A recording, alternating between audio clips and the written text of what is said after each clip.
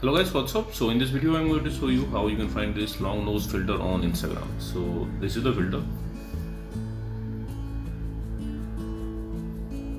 so to get this effect you can visit the creator profile Helena is the creator of this filter. You can follow her to unlock all her filter to your camera tray. She is having some awesome filter. So check in her filter gallery and this is the filter long nose. Tap on it and you will see this preview from here. You can save it to your camera and you can try it. So that's it guys. Likewise you can get this filter and use this filter on instagram. So thanks for watching the video guys. See you in the next video